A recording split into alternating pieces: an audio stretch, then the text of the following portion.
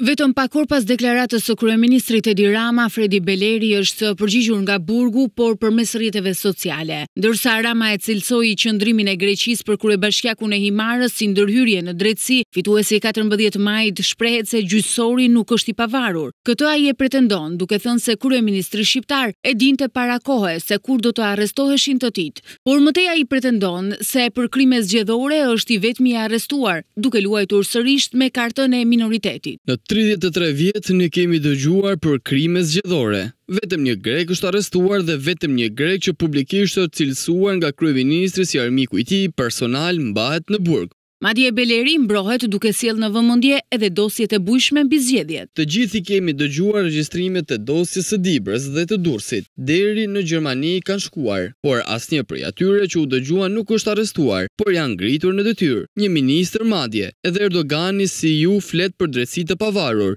dhe është ankuar se Amerika dhe Europa ndërhyjnë në punët e gjyqësorit turk. Pronat e minoritetit ishin një tjetër çështje e prekur nga Rama, duke argumentuar se është një problem si në të gjithë vendin. Por Beleri pretendon se në Himarë, minoritarët detyrohen nga kadastra të shesin tokën e vetëm në këtë rast u regjistrohet.